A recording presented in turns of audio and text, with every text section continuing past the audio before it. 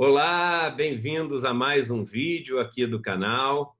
Hoje um vídeo num formato um pouco diferente. Eu convidei dois amigos aqui, amigos a quem eu tenho uma admiração enorme, um respeito enorme. Meu amigo Paulo Clias, o Paulo que é doutor em economia e é especialista em políticas públicas e gestão governamental. Um título chique pra caramba que o cara tem, mas é um cara que conhece muito, já passou muito tempo aí é, ajudando o país em diversos postos que ele ocupou, tem uma experiência muito grande. E o outro é o meu xará, o Eduardo Fagnani, né? Ele é professor do Instituto de Economia da Unicamp e também é um especialista no tema de proteção social. E a ideia de trazer os dois aqui foi para a gente bater um papo é, sobre previdência e especificamente é, em cima daquele artigo que eu é, publiquei, onde eu falava 44 coisas que as pessoas deveriam saber é, sobre a previdência. O artigo acabou tendo é, assim uma exposição até muito maior do que eu imaginava. Eu fiquei super feliz, chegou a muita gente, né? E esse artigo mereceu uma réplica né, do colunista Pedro Fernando Neri. Né?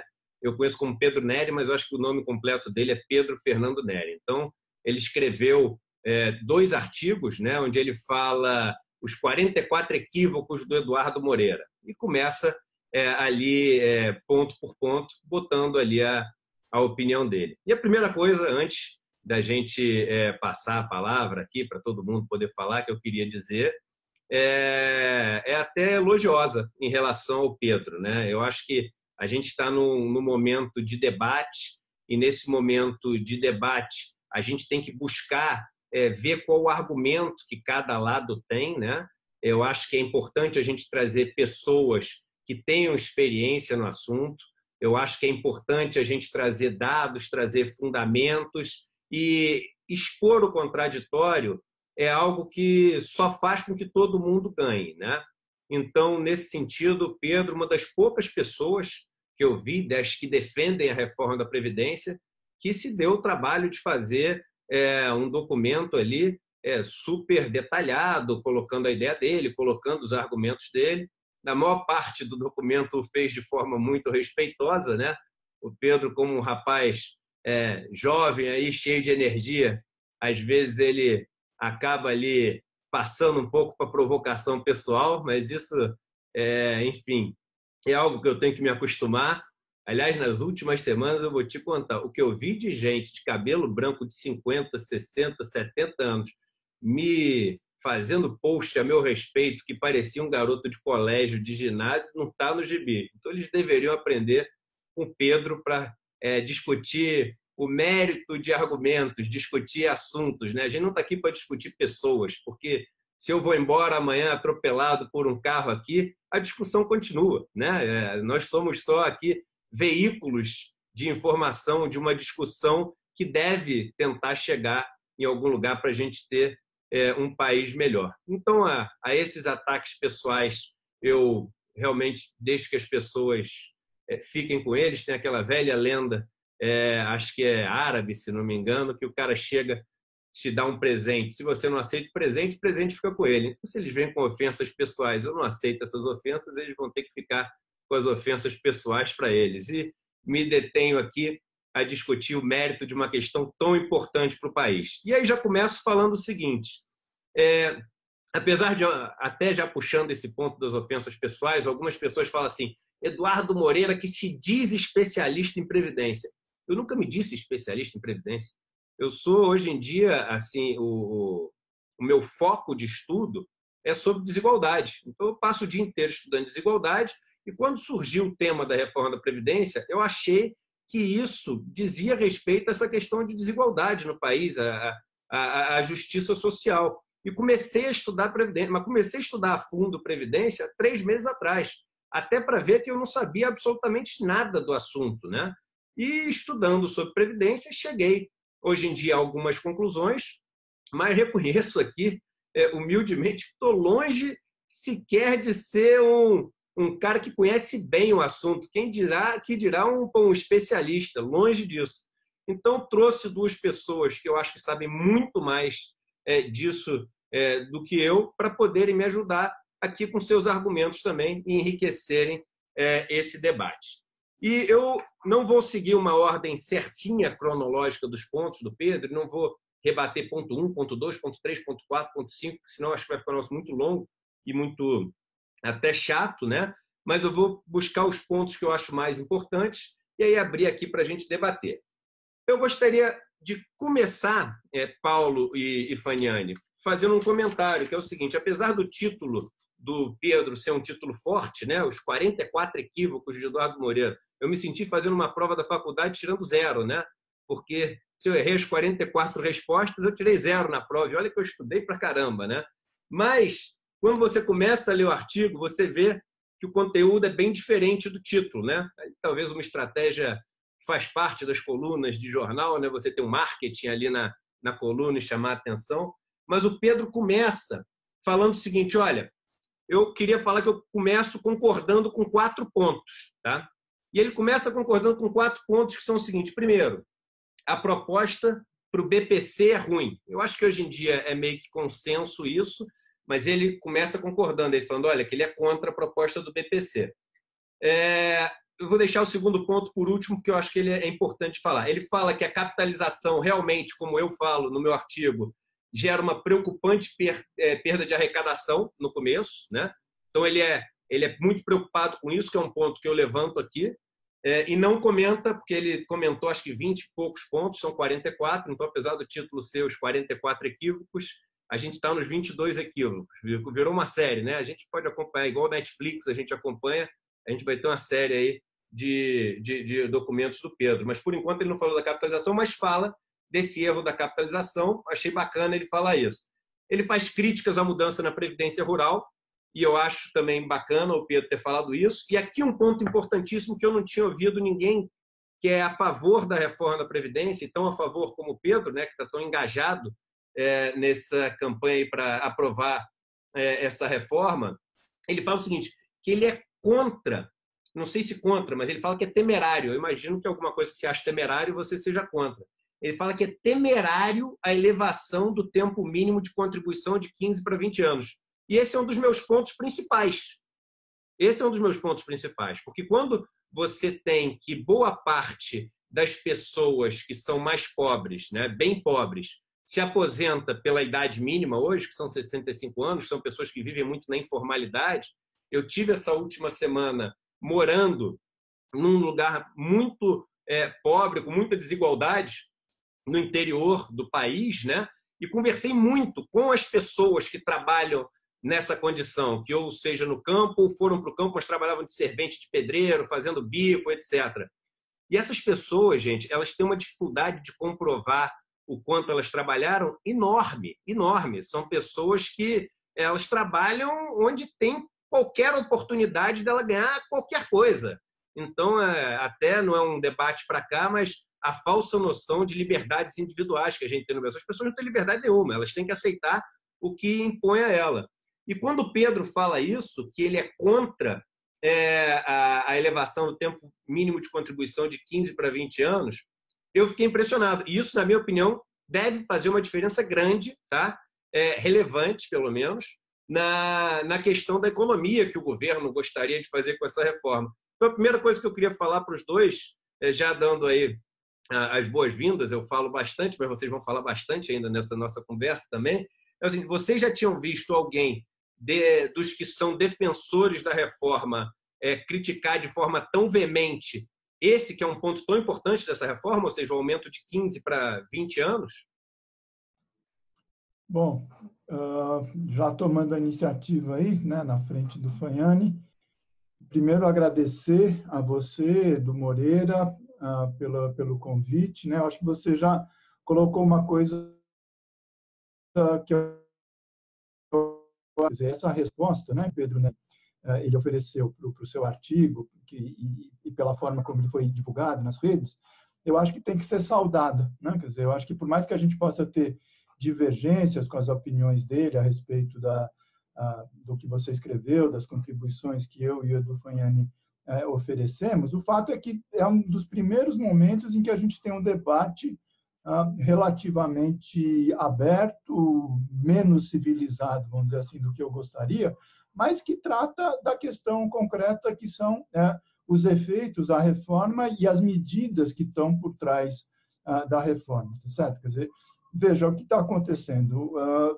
desde outubro do ano passado, ou até um pouquinho antes, né, que vem de novo sendo uh, entoado esse mantra de que uh, o país está parado porque o Congresso se recusa a votar uh, a reforma da Previdência.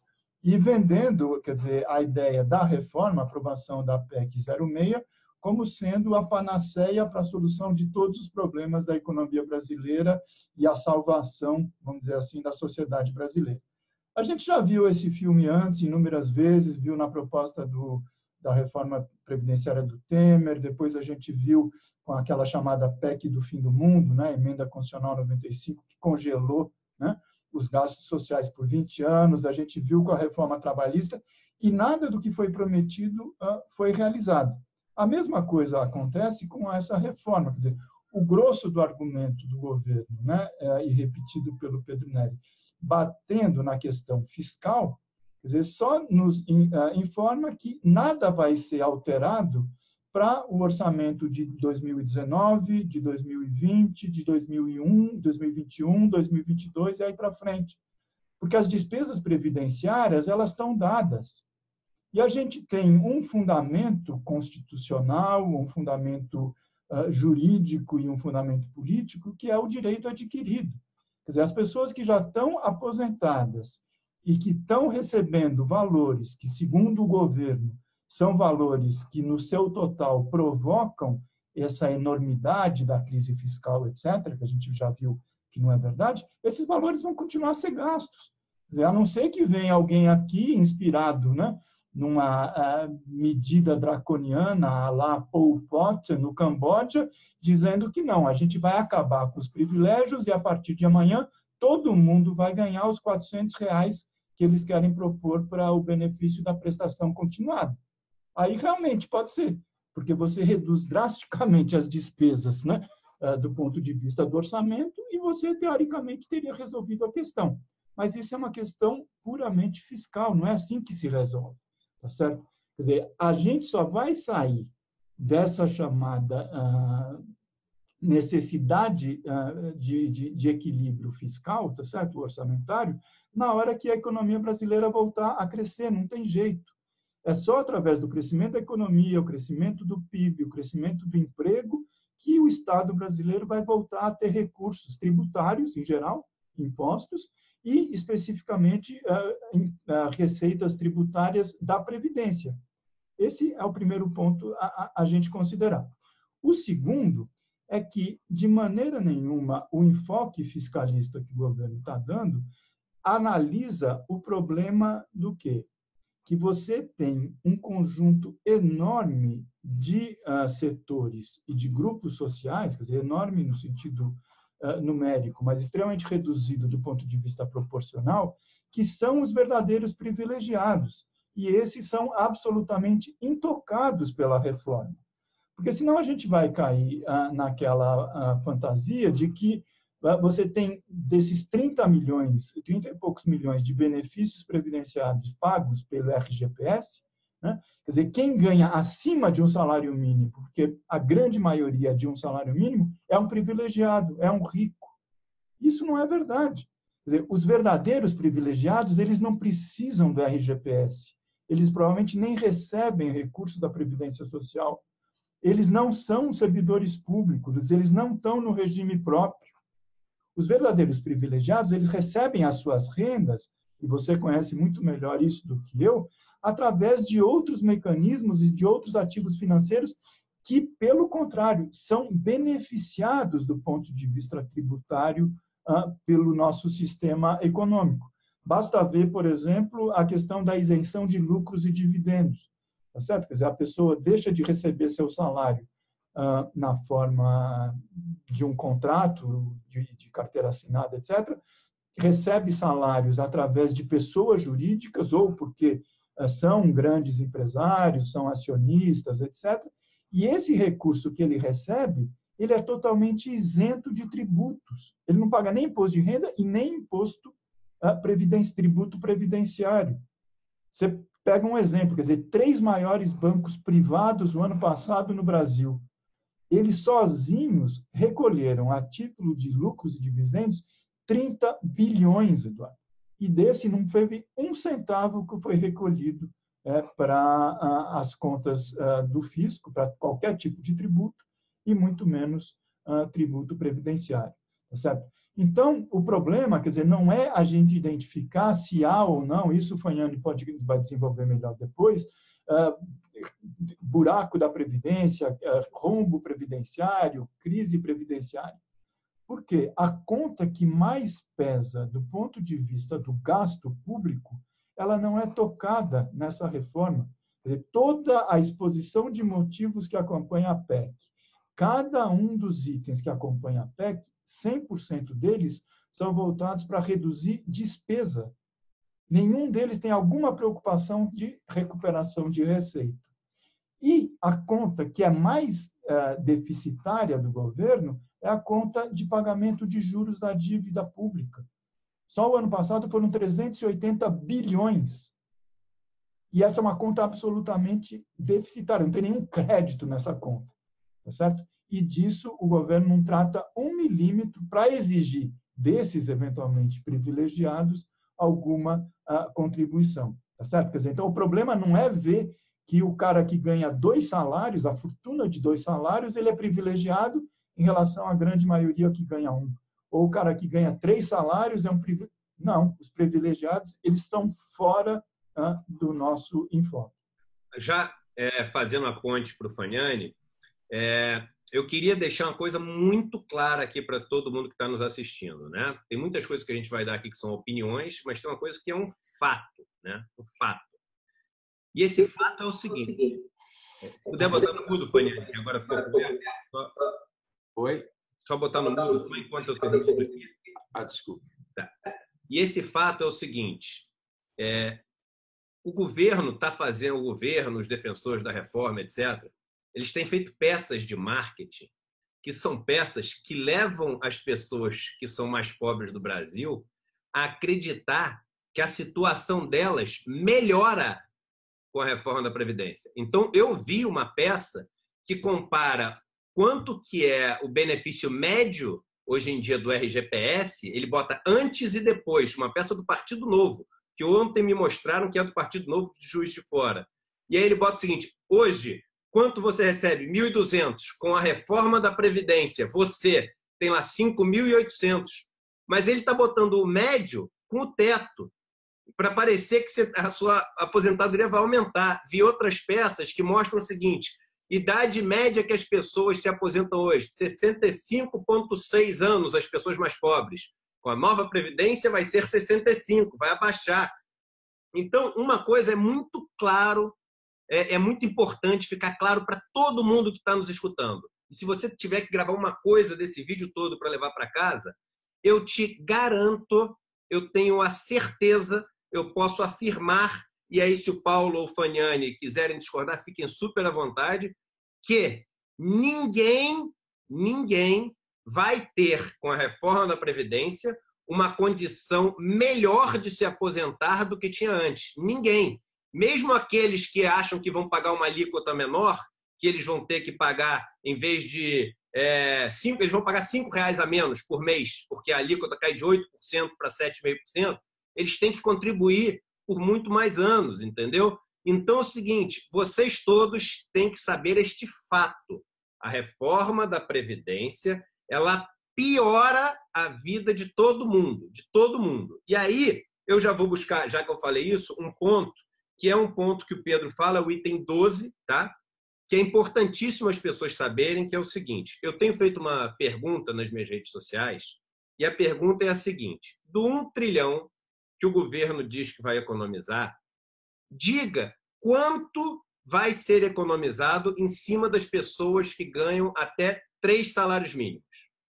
Por quê? Para dar um pouco para as pessoas a dimensão do quanto que é o tal do privilégio, porque ninguém sabe o que é privilégio. e o governo deixa escondido lá no item 50 da PEC, ele fala que ele considera rico quem ganha 2.200 de aposentadoria em média. Então, é isso que ele está chamando de rico.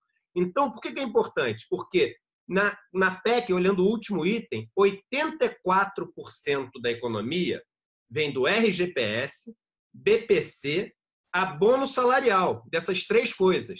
Só que tem vários servidores que ganham até três salários mínimos também de aposentadoria. Então, esse número provavelmente é acima de 90%. E, é, é, eles não dão essa resposta e nunca vão dar, porque isso daria para as pessoas é, uma percepção do quanto está sendo tirado de quem ganha muito pouco. Então, mais de 90% dessa economia proposta, do que está na PEC, e aí o Pedro comete um, um outro, uma outra confusão ou engano aqui, que ele fala: ah, não, mas tem o, o que vai ser também economizado com o RPPS, que é o regime dos servidores, mas isso não está na conta do um trilhão que está ali na PEC. Na conta do um trilhão é só o que você tem ali do federal. E aí o que, que acontece? O que, que acontece? Essa economia que você está fazendo, no item 12, o Pedro fala, ah, mas o Eduardo não está sendo justo. Por que, que ele não está sendo justo? Porque você está economizando muito mais, e ele não diz o número, e eu acho difícil que eles digam esse número, mas é, por pessoa você está economizando muito menos, você está economizando mais por pessoa dos militares, dos servidores, etc. Só que uma coisa que o Pedro esquece é um conceito que a gente aprende lá no começo de economia, e tem dois professores aqui para não me deixar falar besteira, que se chama Decreasing Marginal Utility, que quer dizer é, utilidade marginal decrescente. O dinheiro, a utilidade desse dinheiro vai diminuindo à medida que você tem mais dinheiro. O que isso quer dizer? Quer dizer que se você não tem nada de dinheiro, os 100 primeiros reais que você ganha, eles têm uma utilidade quase que infinita, porque são esses 100 reais que vão fazer você sobreviver ou morrer. Se você tem um milhão de reais, 100 reais que você ganha tem uma utilidade quase que nula. Então, a economia que você faz com as pessoas que ganham muito pouco, além de percentualmente, que o Pedro não faz essa conta, ser maior também, porque o que eles ganham é, é muito pouco, a utilidade que esse dinheiro tem para essas pessoas é monstruosa. É monstruosa. Novamente, eu tive essa semana conversando com pessoas que 100, 200 reais por mês faz toda a diferença do mundo. Então, é, esse ponto, em relação ao ponto 12, eu acho que o Pedro comete um, um equívoco grande ao não considerar quanto significa 100, 200 reais para uma pessoa pobre e quanto significa para uma pessoa rica. E aí eu acho que é um pouco uma falha das pessoas que estão debatendo esse, essa previdência. Eu acho que todos nós que estamos debatendo essa previdência vivemos numa bolha de riqueza. A gente vive numa bolha de universidades, de emprego, de consultorias a bancos, etc. E a gente tem muita dificuldade de saber o que passa uma pessoa que ganha o BPC, o que passa uma pessoa que ganha uma aposentadoria de um salário mínimo depois de 65 anos de idade. E é cruel o negócio. Eu me peguei essa semana, e não é para fazer tipo aqui, quem me conhece sabe que eu não faço tipo, eu me peguei chorando várias vezes ouvindo a história dessas pessoas que me contavam o quanto aqueles 998 reais faziam diferença para eles. Então a gente não pode deixar de considerar esse efeito da utilidade que o dinheiro tem e ela decresce marginalmente à medida que você vai tendo mais dinheiro. Então o impacto nos pobres é muito maior do que só essa proporção, né? Então, voltando agora para o começo dos pontos, e aí passando para o nosso amigo Faniani, sempre lembrando que o Pedro começa concordando com quatro pontos importantes, ou seja, ele é contra a reforma que é proposta em quatro pontos, né? Nos 44 equívocos eu vi que eu não tirei zero na prova, então, porque tem alguns acertos que ele começa dando. E aí, no, no ponto 1 um e no ponto 2, o Pedro questiona é, é, o que eu falo no meu artigo dizendo que o déficit da Previdência ele é um déficit criado contabilmente pelo governo, né? porque se você olha lá na Constituição, o artigo 194 e 195, ele determina o que, que deveria financiar a Seguridade Social e quais são os gastos, e essa deveria ser a conta. E o Pedro questiona as duas coisas. Questiona a questão do déficit, que eu falo que antes você não tinha déficit, depois você passou a ter déficit, e questiona essa visão constitucional também, dizendo que a Constituição ela não detalha como deve ser feita essa conta da Previdência. E aí eu queria passar, então, para o Faniani é, comentar esse ponto, por favor. Bom, boa noite a todos, ao, ao Eduardo, ao Paulo, a você que está nos ouvindo. Bom, agradeço você, Eduardo, pelo convite. É, quero dizer que essa é uma iniciativa bastante legal do Eduardo ter escrito esses, esses pontos todos. A minha contribuição e a do Paulo foram marginais, nós apenas fizemos algumas sugestões é, no texto. É, também quero destacar é, o que acontece hoje em dia, que é, eu tenho dito isso, quer dizer, o governo, ele não, na verdade, ele, o governo não quer fazer reforma da Previdência. Né? O que eu tenho dito é que o objetivo maior desse, desse projeto é, é destruir o Estado Social de 88. E eu, como tra trabalho, dou aula sobre essa questão da proteção social desde 1985, eu acompanhei todo esse processo. Então, essa ideia de destruir o Estado Social de 88, destruir o modelo social que nós construímos em 88, isso vem sendo tentado desde 1989, essa é questão. Então, hoje, que está acontecendo hoje, para mim, não tem nenhuma novidade, é um debate que tem sido feito desde os anos 90, etc. E, e, e, aí vale tudo, né? Vale antigamente a gente chamava de mitos, né? Os mitos sobre a previdência. É, hoje em dia são falsas verdades, são fake news, etc. Né?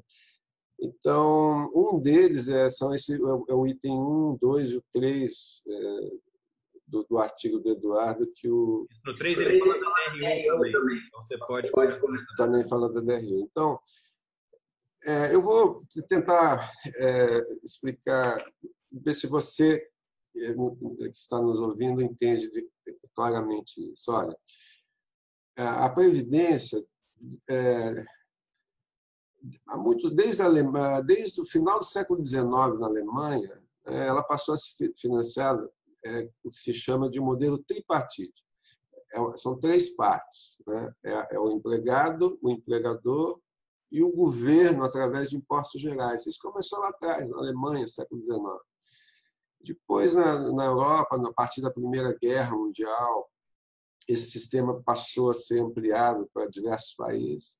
E a partir de 1945 isso se espalhou. Né? Então, quando você vê, por exemplo, os regimes de Estado de bem-estar social europeus em outros países, eles têm esse sistema tripartite. Então, a ideia é que você tenha uma proteção social, né, em geral, né, ligada à, é, à, previdência, à saúde, assistência social, seguro-desemprego. Né? E para financiar essa proteção, essa seguridade social, você tem é o empregado, o empregador e o governo, através de impostos gerais. Né? É, e quando você olha o caso brasileiro, eu até estava vendo aqui um, um, estudo que eu fiz uma vez, é, esse sistema tripartite ele foi, ele foi incluído no Brasil em 1933. Né? Então, é, em 1933, quando foi criado o Instituto de Aposentadoria e Pensão dos Marítimos, né? É, desde então, você, esse, os institutos de aposentadoria e pensão da década de 30 eram o sistema tripartite. Isso vigorou é, nos anos 50, em 1960 tem uma reforma grande que foi feita e continuou vigorando. Na ditadura militar continuou vigorando. O que quer dizer isso? Quer dizer que quem paga a previdência, quem financia é o empregado, o empregador e o governo através de impostos gerais. É, o que é o déficit? O déficit da previdência é que não se considera parte do governo, não se contabiliza parte do governo. Né? Essa, esse que é o déficit da Previdência. O que a Constituição fez? A Constituição fez o seguinte: pegou essa estrutura que vem desde 1930 e fala assim, bom, o que está acontecendo hoje? Como é que os constituintes? É importante a gente ter um pouco a visão da história. O que acontecia na ditadura militar? Na ditadura militar, vocês sabem que nos anos 60, começo dos anos 70, teve um milagre econômico, a economia crescia muito, chegou a crescer 13% ao ano durante muitos anos. Então, só a contribuição do empregado e do empregador já era suficiente para financiar a Previdência. Quando você vai o Brasil entra numa crise muito grave em 1982, né, uma crise financeira internacional, Então, a partir daí, você tem uma recessão e a despesa do empregado do empregador não é suficiente. Então, o governo tem que pôr a sua parte. E aí, se vocês olharem as manchetes dos jornais de 1982, 83, 84, não tem nenhuma diferença com as manchetes de hoje. O Brasil vai quebrar e a reforma e a previdência é central. Então, o que, os constituintes fizeram? Eles fizeram o seguinte: olha, sempre que o governo tem que colocar a sua parte, ele diz que tem déficit, tem rombo. Então, nós vamos fazer o seguinte: nós vamos dar um status constitucional a, a essa, esse sistema tripartite. E vamos nos inspirar na experiência dos países europeus.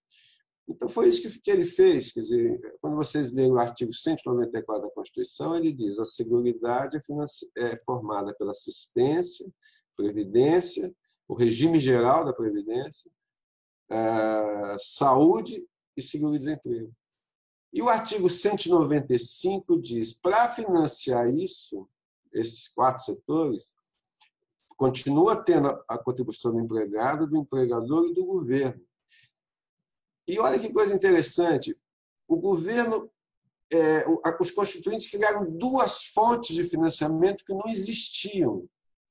Né? Uma se chama-se COFINS, mas o nome do COFINS é Contribuição Social para o Financiamento da Seguridade Social. Eu não preciso ser mais claro do que isso. O nome da COFINS é Contribuição para o Financiamento da Seguridade Social. O outro, o outro, outra contribuição é a contribuição sobre o lucro líquido. Né? Então, é, contribuição social sobre o lucro líquido. Contribuição social sobre o lucro líquido. Então, veja, então, o que a Constituição, os constituintes fizeram? Pegaram algo que existia desde 1930 tá certo? e deu um status constitucional. Ele vinculou constitucionalmente aquelas fontes de recursos que ele criou para o financiamento da Seguridade Social. Né? É, e, então, é, é, então, quer dizer, e, e, aí, porque do déficit, a rigor, o déficit, o que é o déficit? O déficit é uma, é uma despesa que não tem fonte de receita. Né? Desculpa, só um, um detalhe. E explicar para o pessoal que está no ouvindo que foi criado um orçamento especial, o orçamento da Seguridade Social, que é, por definição, equilibrado. É, o artigo 194 fala a Seguridade é formada por esses setores, e o artigo 195 fala eu, eu vou criar o orçamento da Seguridade Social que são fontes de financiamento constitucionalmente vinculadas a esses setores. Né? E para que o governo cumprisse a sua parte, porque antes era uma, uma parte do petróleo, uma parte eram pequenos impostos, ele criou uma contribuição sobre, sobre o faturamento e uma contribuição sobre o lucro. Então, veja, quando você, mas o que, que aconteceu? O que aconteceu na prática? Desde 1989, que a Previdência não continuou não contabilizando a parte do governo. Então, o déficit é, ele nada mais é do que a não contabilização da parte do governo. Né? É, é, é um desprezo à Constituição da República. Certo? É um desprezo à Constituição da República. Você pode botar no mundo, eu falar um caso? Claro. Você está falando que eu acho interessante. Eu estava eu tava na semana, é, nessa semana e conversando com uma senhora que tem, é, tem 60 e poucos anos, e ela me falou o seguinte: eu estou vendo esse negócio de reforma da Previdência, e você olha para ela, parece que ela tem 80 anos, assim, né? A roça é, maltrata muitas pessoas no sentido do quanto exige de trabalho delas. E ela falou: eu acho que agora que eu nunca mais vou conseguir me aposentar de jeito nenhum e etc., agora eu vou falar para o senhor.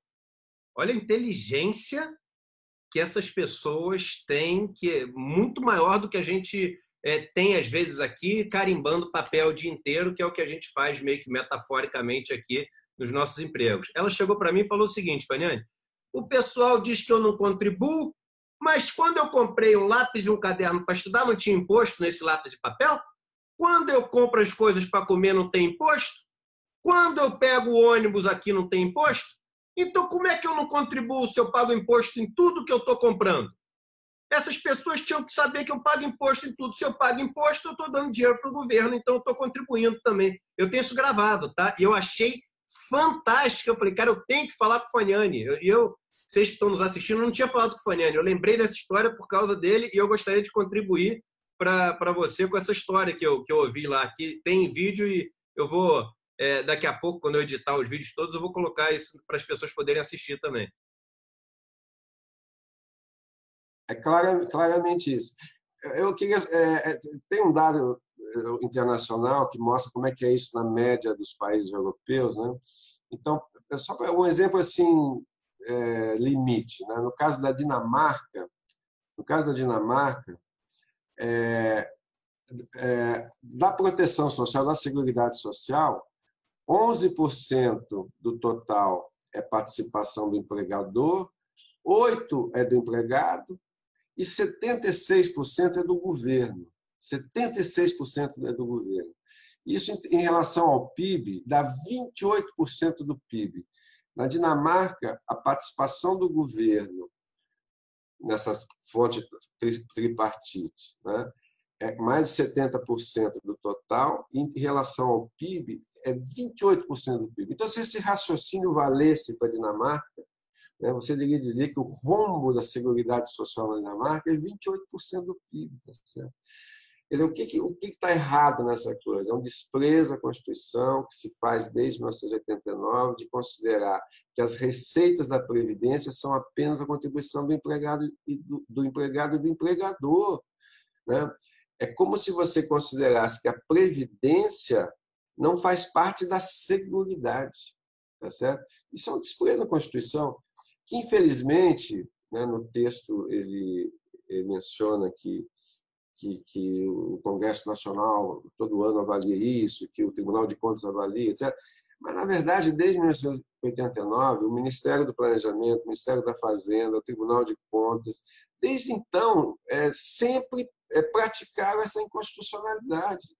Eu tenho, eu tenho aqui uma, uma declaração que eu que eu estava é, relendo outro dia, é, em, em 1989, né, já começaram os desvios é, da, é, desses recursos da Previdência. Então, aqui tem aqui o, o, senador Almir Gabriel, que já faleceu, que é do PSDB, que foi o relator do capítulo é, do capítulo da, da Seguridade Social, deu uma entrevista para a Folha de São Paulo, né, 17 é, de maio de 1989, né, e ele dizia, dizia literalmente o seguinte, abre aspas, recursos que deveriam ter sido alocados no Ministério da Previdência foram desviados para outros setores, para cobrir outros setores, para cobrir outros buracos de caixa. Né? O governo está utilizando parte do fim social, né, que, o, que é do COFINS, né, dessa contribuição social, para pagar pensionistas da União, que sempre foram pagos com recurso do Tesouro Nacional e não pela, pelos recursos da Previdência. Então, veja, quando a gente olha um pouco a história, né, a gente percebe, tem várias evidências, enfim, é, de que desde 1989, o que aconteceu? Os constituintes criaram duas contribuições novas que não existiam, falaram isso aqui é, é, é tá ligado à Constituição, constitucionalmente ligado a esses setores, e a área econômica do governo, desde 1989, passou a mão nesses recursos para financiar outras áreas. Né? É, como, por exemplo, os servidores é, federais, né? até a Previdência dos Servidores Federais, que não faz parte da Seguridade Social. Então, é algo que vem desde 1989. Tá claro? Então, é, e tem uma, um outro ponto aqui. E aí, nesse ponto aí, aí já deixando você falar, poder botar no isso, que o Pedro fala o seguinte, que ah, o Eduardo fala da DRU, mas, na verdade, tudo que é desvinculado com a DRU, desviado com a DRU, volta por causa do déficit. Isso no ano passado. Isso no ano passado. Mas, na verdade, quando você olha qualquer estudo, e o Pedro sabe disso, por isso que eu acho que ele colocou esse item mais para confundir quem estava lendo, eu acho que ele deveria, já que ele quis entrar nesse ponto, mostrar como sempre foi. É, para trás, você tinha essa sobra, e exatamente por ter a sobra que você criou uma coisa que desvincula as receitas. E aqui ele fala: ah, nada do que se paga diretamente para o RGPS é desvinculado. E até ele fala como se fosse um equívoco meu, mas eu fui claro no meu artigo, falando das contribuições sociais, não as que são não previdenciárias. São essas só que podem desvincular. Eu falei isso no meu artigo. Ele fala como se eu tivesse falado das previdenciárias. Mas tudo bem. Mas aí, o que, que acontece? Antes tinha essa sobra, porque se não tivesse sobra, não teria desvinculação. E aí, claro, pegando o último ano de exemplo, mas aí eu posso pegar também o melhor ano que você teve das contas e projetar esses 60 anos para frente. O que a gente está olhando é uma evolução histórica e vendo por todos os momentos onde isso passou. E aí ele já fala logo em seguida, quando eu falo o seguinte: se tudo isso tivesse sido guardado num pote, hoje teria dinheiro para pagar isso. Aí ele fala: tá vendo? Ele tá, o que ele está falando é capitalização. Não é, porque ele está confundindo. A gente está falando de seguridade social, não está falando de previdência. Se eu estivesse falando só de previdência, aí valeria esse fundo. Mas como eu estou falando de seguridade social, de todas essas contribuições, não tem nada a ver com o regime de capitalização, que é o que o Pedro fala no item 6. Então, no item 6, ele se confundiu também quando ele falou essa questão, ou colocou palavras ali que eu não disse, ou não entendeu o que eu falei, então eu estou aproveitando a oportunidade para explicar. Eu falava da Seguridade Social e da DRU, e a DRU faz isso, ela pega receitas da Seguridade Social, que são as não previdenciárias. Edu, não, é, exato. Quer dizer, tem uns estudos da, da FIP que ele também critica é, de forma é, incorreta, porque, é, enfim, a FIP era a, a FIP era a Associação dos Fiscais da, da Previdência Social, né? até muito recentemente. É uma órgão que tem 60 anos. Então, como não se cumpria a Constituição no início dos anos 90, é, no que diz respeito ao orçamento da Seguridade Social, é, é, esses auditores fiscais da Previdência falaram assim: bom, vamos fazer então uma contabilidade aqui, de, é, é, exatamente como está na Constituição Federal? Vamos. Então, eles montaram. Quais são as receitas da Seguridade Social? São essas aqui. Quais são as despesas? São essas aqui. Eles montaram ano a ano e, desde meados dos anos 90, eles faz uma contabilidade tal qual está na Constituição, na Constituição que nunca foi cumprida. Né? Então, eles vão dizer, olha, é, desde os anos 90 até 1900 até 2015, a Seguridade Social ela é superavitária. É, em média, nos últimos 10, é, de 2005 a 2015, você tem uma, um superávit de cerca de 70%, 70 bilhões média, valores não corrigidos, todo ano. Né? Por isso que o Eduardo.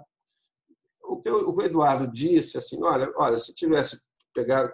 É, quando você tem superávit, você guarda o dinheiro, faz um fundo, na hora que tiver uma, uma crise, você utiliza é, o recurso, é um raciocínio absolutamente correto, mas ele está mostrando, na verdade, o quê?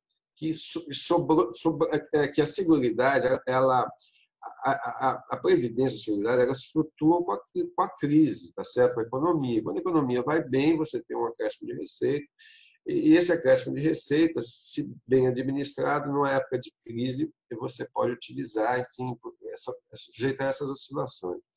Mas o que a FIP mostra é o seguinte, que a Seguridade sempre foi super, super, superavitária, apesar das isenções fiscais. O governo faz isenção fiscal. Fala, ó, tal setor vai ter uma redução, não precisa pagar COFINS de tantos por cento, vai pagar menos, o outro vai pagar menos. Então, ele, faz, ele dá isenções fiscais sobre essas contribuições da Previdência. Né?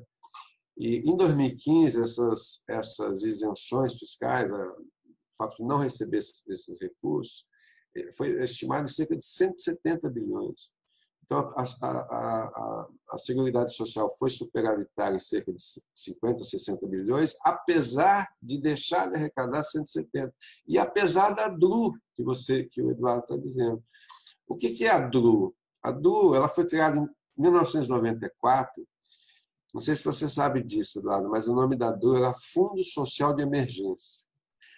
O Fernando Henrique, depois, num livro que ele escreveu, ele disse que ah, isso aqui foi a ideia de um publicitário, a ideia de criar uma ideia de criar uma coisa social, mas é, era a preparação do plano real, mas, na verdade, era a seguinte, não é fundo, é absolutamente antissocial e existe até hoje, também não é de emergência.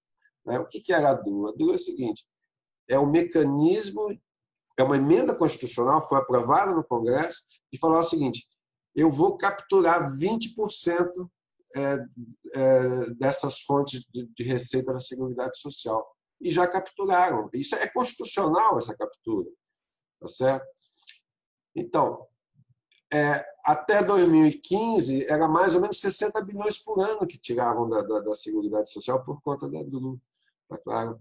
Depois aumentaram a DRU de 20% para 30%, nos últimos, é, passou a quase 100 bilhões. Então, o que se mostra é que a Seguridade Social ela é, ela é, é, é superavitária desde até 2015 foi, foi superavitária. A partir de 2015 não foi, por conta da recessão brutal que você tem, da corrida às aposentadorias, um desemprego, etc, etc. Agora, o que é importante dizer é o seguinte: se a previdência é superavitária, se a seguridade é superavitária e se a previdência é parte da Seguridade Social, como que você vai dizer que a Previdência tem déficit? Tá e tem um, ponto aqui, Eduardo, que é importante a gente mencionar, que é o seguinte. É, a partir de 2015, né, é, na gestão do ministro Levi, né, governo é, da, da presidente Dilma Rousseff, a área econômica do governo passou é, e a mesma área econômica, né? Levi hoje é presidente do, do BNDES, né? É essa equipe que depois foi toda para fazer a reforma da Previdência do Temer, depois, enfim, é, passou a criar uma, é uma segunda pedalada constitucional, uma segunda, um segundo desprezo à Constituição, né?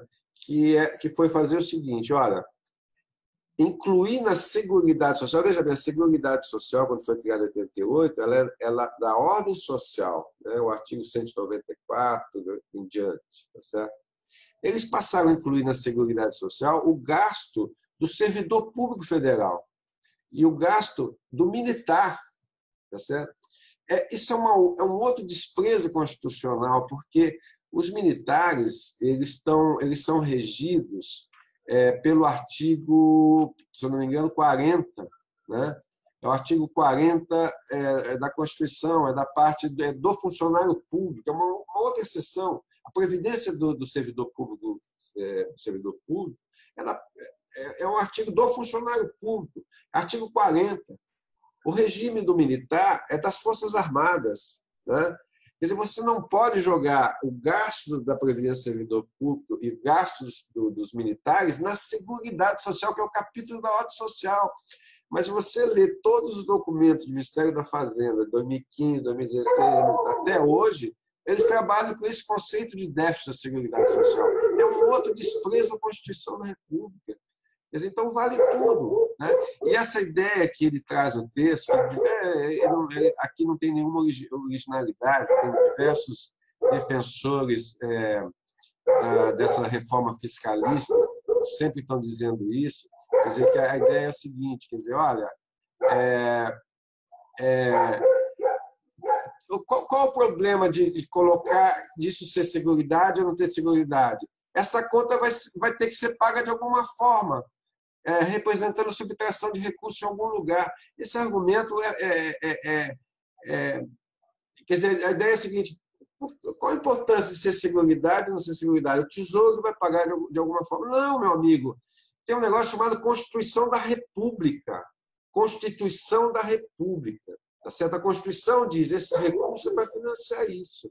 Se eu pegar esse recurso financiar outra coisa, tá certo? É, é inconstitucional. Claro, se as pessoas não gostam da Constituição, mudem. Aliás, eles estão fazendo isso agora. Quer dizer, o que estão fazendo hoje é acabar com a Constituição de 88. Tá certo? Mas é um argumento que vem desde os anos 90. Né? Que, o que é importante é o seguinte: o déficit não é a minha visão, a visão do Paulo Crias, a sua visão. O déficit é o que diz da Constituição da República. Se você analisar a Constituição da República, não tem déficit. Tá certo? E tem mais uma última coisa que eu queria mencionar sobre esse aspecto, que é um outro argumento suado, cansado. A sua câmera, a sua câmera saiu, Fernandes, se puder baixar. E tem um, um último argumento, para finalizar a participação aqui inicial, quer dizer, que é um argumento que é o seguinte, olha, se, você, se o gasto com a Previdência crescer, vai faltar assistência social, tá certo? Esse é um outro argumento que, que cansam de, de, de usar. Esse argumento é equivocado por duas razões. Primeiro, é que a Previdência ela tem as fontes de recurso dela, a contribuição do empregado do empregador. Tá certo? É, segundo, o que é errado é que o gasto com educação, com assistência social, é, com educação, com assistência social, com saúde, eles, é, especialmente a, é, educação e saúde, o grosso desse gasto é feito pelos estados e municípios, tá certo? Então não, não é, não é, não, porque você não pode jogar previdência, ou você quer ou você quer saúde, educação ou previdência. Não é isso. O que eu quero é que uma pessoa que ganha 320 mil reais por mês, que tem 70% da sua renda isenta, pague imposto. Tá certo? Aí, aí eu consigo financiar a Previdência, saúde e educação. Né? O Paulo Guedes usou outro dia um argumento, para terminar, Eduardo, que foi manchete de todos os jornais. No Brasil, nós gastamos 700 bilhões com a Previdência e 70 bilhões com a educação. Onde está o erro disso? O erro disso está que nos 700 bilhões ele mistura os três níveis, de, os três previdências, tá certo? o regime geral, o militar e o, e o servidor. Mas o erro mais grave é o seguinte, que o gasto com educação, 1,5% é do PIB é o governo federal. O grosso do gasto com educação é estados e municípios. Tá certo? Então, nós gastamos no Brasil hoje, já, já gastamos cerca de 5,5% do PIB. Com a Previdência, a gente gasta 8%. Tá certo? Então, não é verdade que a gente gasta com Previdência 10 vezes mais do que você gasta em educação. Isso é o que o governo federal gasta. Né? O grosso do gasto com educação está em estados e municípios. Mas é uma, é uma outra fake news dizendo o seguinte: tem cabimento a gente gastar 10 vezes mais com os velhos do que com as crianças. Tá certo? É um argumento que, que é forte. Né? Foi manchete de todos os jornais, de todos os telejornais da noite, tá certo? Mas é uma, um novo dado que é equivocado e que ele usa nesse, nesse, nesse, nesse estudo, fazendo a crítica a você, né? dizendo isso. Olha, gente, se, não, se você não fizer a reforma da Previdência, não vai ter recurso para educação, para saúde para assistência social. Esse é um outro ponto que a gente tem que é, deixar claro que, que enfim, é como o Paulo diz, quer, quer, quer, você quer discutir como é, financiar educação, saúde e previdência? Então vamos falar dos privilégios, tá certo? Os privilégios não, não, não são aqui no cara que ganha R$ 2.200.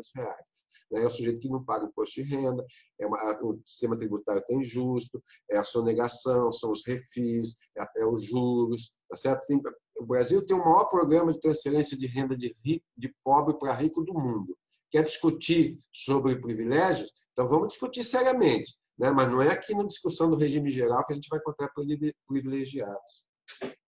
Beleza. Ah, uma coisa que eu queria sugerir às pessoas que estão nos assistindo é o seguinte: lê ali na Constituição, porque a gente fica falando as coisas e a gente, as pessoas às vezes se colocam numa posição muito submissa em relação à discussão, ou seja, ah não, o Pedro é uma autoridade porque ele tem um livro. O Faniani é professor da Unicamp. Mas, gente, assim, todos nós estamos aptos a poder estudar e discutir o assunto. Não se coloquem nessa posição de submissão, pelo contrário. Essa história tem que ser participativa. Aliás, está no artigo 194 da Constituição, que deve ser uma discussão de trabalhadores, de, é, de pessoas mais velhas, todo mundo deve participar. E a gente tem meio que medo de ler a Constituição, às vezes, porque acha que vai ser super complicado, não vai entender nada, aqueles textos jurídicos. E a maior parte da Constituição é escrita numa linguagem que ela é acessível para quase qualquer pessoa. Então, se você olhar lá o artigo 194 e 95, vocês vão ver o que a gente está falando, para não ter que ficar a palavra de um contra a palavra de outro. Eu vou passar dois pontos rápidos aqui, que são 10 e 11, e depois vou passar para o Paulo com o item dos servidores. É, no ponto 10, o. Cadê? Ah, no ponto 10, o Pedro fala que eu estou equivocado porque não muda nada no, no BPC, na aposentadoria por invalidez do BPC. O que eu entendi na proposta é que hoje, a partir da reforma, se ela passar, você só vai continuar ganhando o salário mínimo por invalidez se você tiver se tornado inválido no seu trabalho, num acidente de trabalho. Se for fora do seu trabalho, você vai ter aquele corte lá para 400 reais ou 600 reais, eu não lembro qual é o valor. Então muda sim. Então isso que o Pedro fala é, não bate com o que está sendo proposto.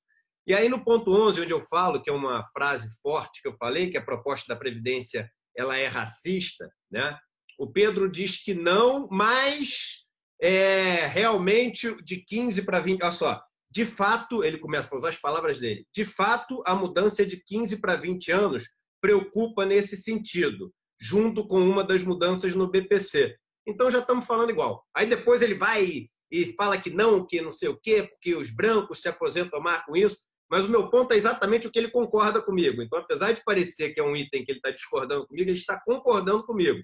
Que você, ao fazer a mudança no BPC e ao fazer a mudança de 15 para 20 anos, que afeta diretamente quem se aposenta hoje pela idade mínima, porque não consegue comprovar os anos de contribuição, você está afetando muito mais a população negra do que a branca. Então, no 11, em vez do Pedro discordar comigo, ele concorda comigo. Então, só para é, falar isso aqui. E aí, o seguinte, eu queria puxar o ponto agora, que é outro ponto que o Pedro fala, que é o seguinte: ah, é, o regime dos, é, dos é, servidores ele é a grande é o grande déficit, eles são os grandes privilegiados e essa reforma vem para cortar todos eles. E ele fala dos estaduais, né? E, e aí, uma dúvida que eu ia perguntar para o Paulo é o seguinte: essa reforma, do jeito que está sendo proposta ali, os números que estão sendo mostrados são todos números do, do, do espectro federal da história.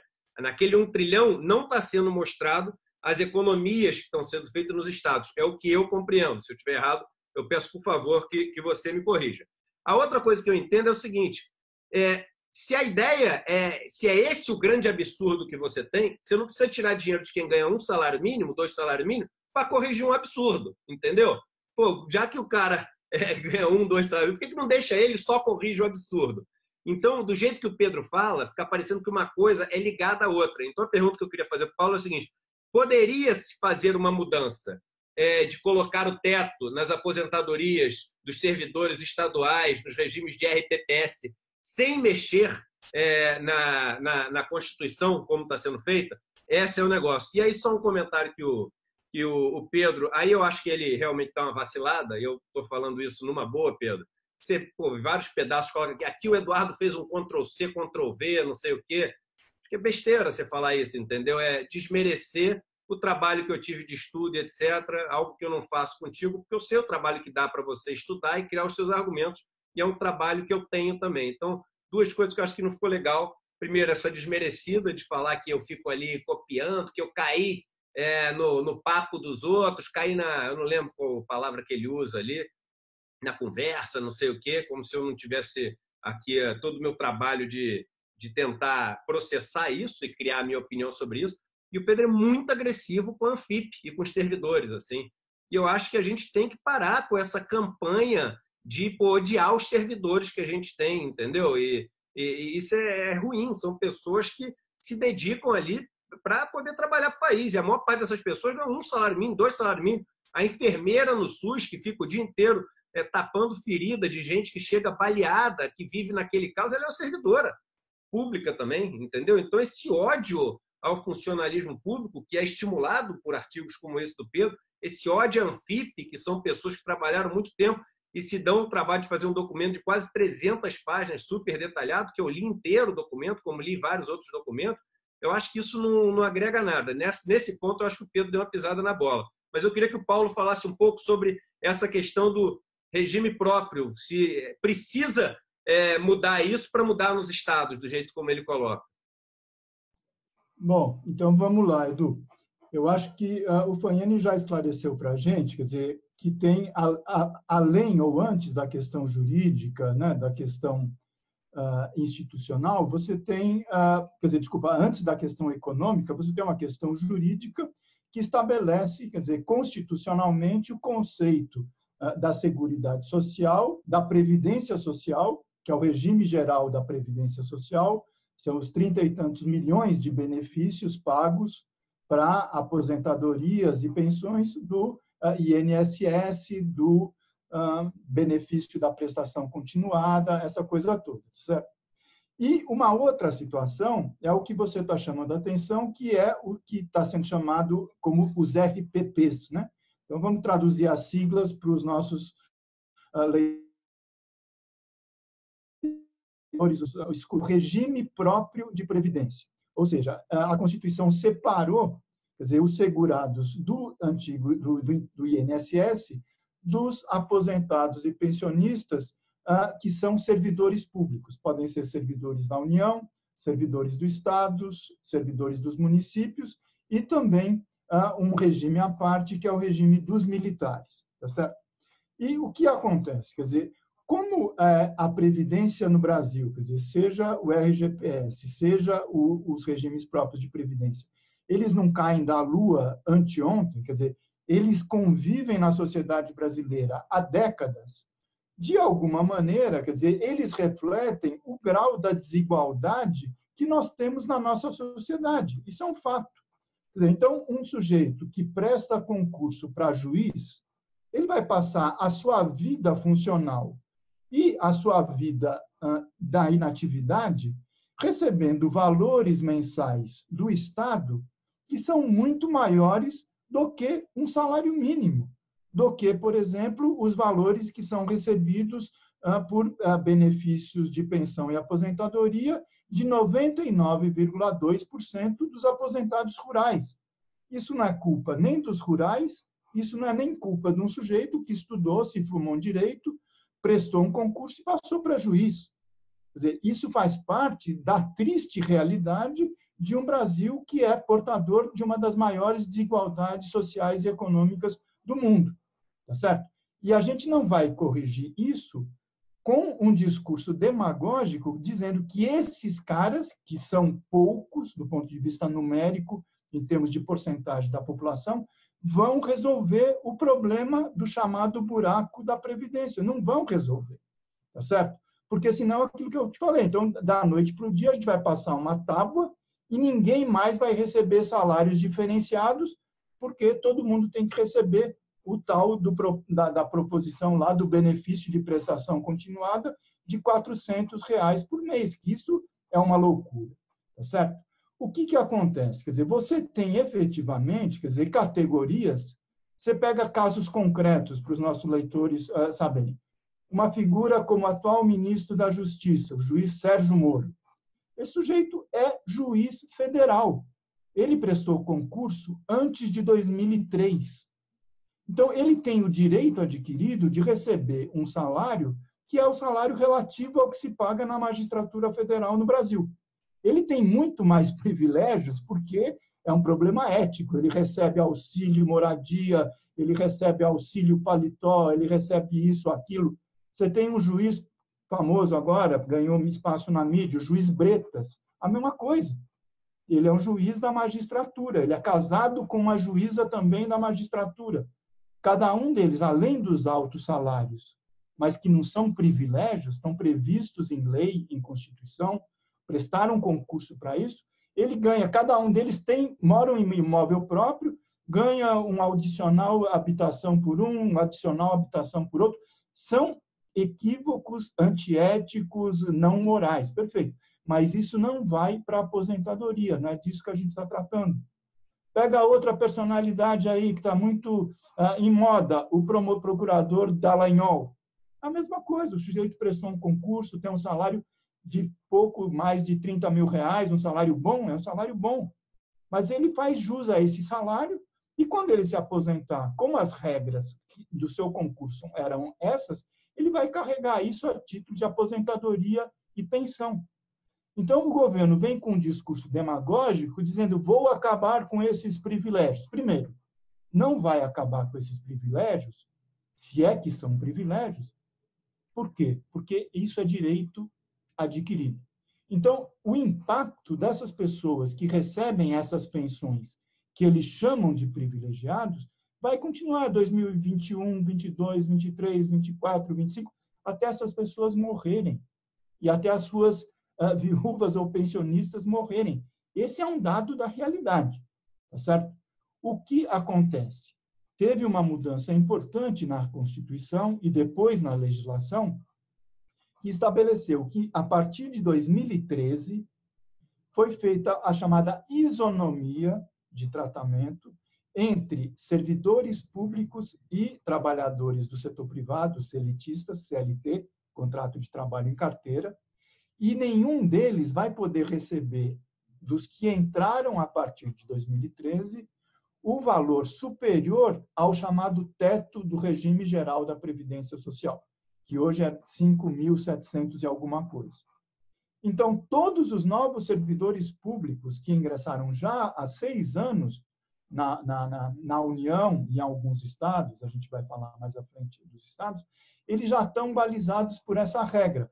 Qual é a regra? O sujeito que vai ganhar a aposentadoria superior a esses 5.700, numa empresa privada, ele participa de um fundo de pensão, ele tem uma previdência complementar, e no caso da União, do servidor público, foi criado, então, um fundo, é um grande fundo, é o FUNPRESP, o Fundo de Previdência Complementar dos Servidores da União. O pessoal da Justiça né, fez um deles próprio, separado, então é o FUNPRESP-JUDE, também no mesmo modelo. Então, quando o governo pega eh, cálculos atuariais de 2017, tá certo? Quer dizer, no auge da crise, onde as dificuldades financeiras são enormes, e projeta para 2060, ele está projetando um equívoco. Por quê? Porque todo mundo que entrar a partir de 2013 vai impactar muito menos o tesouro do que as pessoas que eh, entraram antes. Por quê? Porque o limite que o tesouro vai pagar para o seu servidor público é 5.700. O diferencial a mais vai ser todo debitado na conta do aí, Panhani. Tirou... Posso dar um pitaco aí para te ajudar, para em reforço a você? Eu tenho um dado aqui que, que é da Anfip, né, tão criticada, né, é, é que mostra o seguinte, que é, a partir de 2024, 2025, em função disso que você está dizendo, porque os servidores que entram a partir de 2013, que vão se aposentar em 2050, né, tem um teto, né, e, por outro lado, o estoque de servidores que não tem o teto, ele tende a se reduzir pela questão da, da mortalidade, etc. O dado mostra o seguinte: a partir de 2024, né, a, o resultado, a, a, receita, a receita menos a despesa, ele tende a cair de algo em torno de 1% do PIB para chega em torno de 60% do PIB em 2046, 0,6% do PIB, de 1 para 0,6 em 2046, né? e a partir de 2064, 0,2% do PIB. Então, a, a, a trajetória de, de, de, o resultado da Previdência do servidor público federal ele tende a cair até 2060 é, é, de um patamar em torno de 1% do, do PIB hoje para cerca de 0,2% do PIB lá para 2060. Né? E um outro dado também para ajudar essa discussão é o seguinte: se fala muito do funcionário público, que são marajás, etc. Também um outro dado da Anfip é, é o seguinte: mais de 50% dos servidores ganham até R$ 6.500 mais de 50% ganham até R$ 6.500, 50%. Né? Só 15% dos servidores ganham mais de 13 mil reais, tá? dados de 2016. Né? Então, só para te ajudar na sua argumentação, né? quer dizer, com o teto, com o teto de, de 5.800, em 2060, até 2060, a tendência do gasto do servidor público federal é cair. Né? Então, a reforma você sempre faz pensando no futuro. Né? Então, no futuro, com o que já foi feito em 2012, vai cair.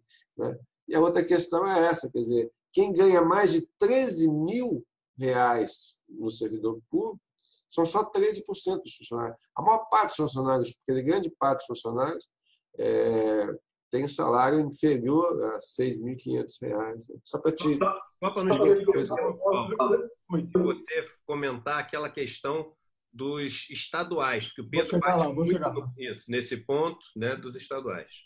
Bom, então, eu agradeço o Fanhane, ele é, trouxe números né, para a gente saber exatamente que essas projeções, quer dizer, elas são uh, muito questionáveis, muito polêmicas, né, as que estão embasando né, tanto a PEC apresentada pelo Temer, da reforma, como essa que está sendo apresentada agora uh, uh, pela, pela equipe do Paulo Guedes. Tá certo? Exatamente porque a realidade é mutante e, e você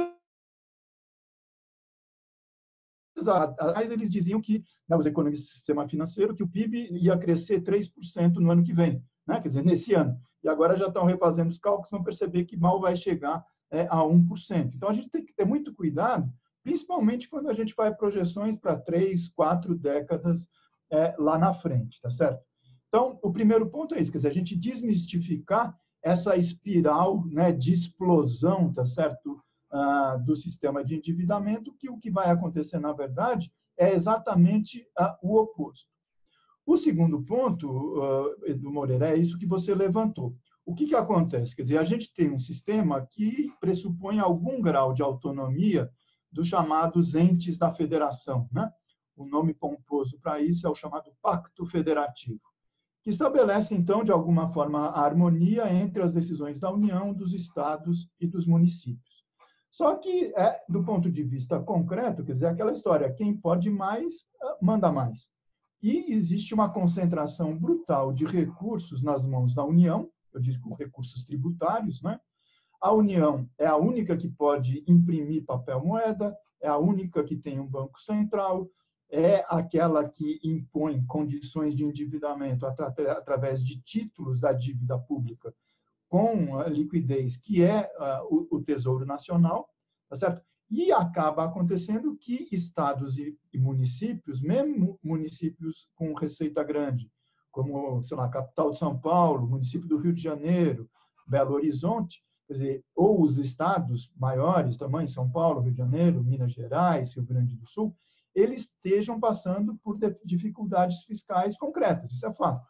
Né? Um misto de dificuldade administrativa, mas o fundamental é a crise econômica desses últimos quatro anos, que refreou drasticamente né, a arrecadação, tanto da União, quanto dos estados, quanto dos municípios. E aí o que acontece? Quer dizer, essas medidas que a União teve para o seu próprio campo, quer dizer, por exemplo, de estabelecer esse limite do teto né, para os seus servidores e a recomendação de uma previdência complementar, ela não foi acompanhada ah, pela maioria dos estados. Tá certo? Então, o que é a grande jogada que essa reforma constitucional está fazendo? Dizer, ela impõe um elemento de chantagem, ela bota ainda mais a faca no pescoço dos governadores, e vocês devem ter visto o Paulo Guedes, o presidente Bolsonaro, saindo atrás dos governadores, fazendo reuniões e oferecendo vantagens de curtíssimo prazo, em troca de que os governadores pressionassem deputados e senadores para votar a favor da reforma previdenciária.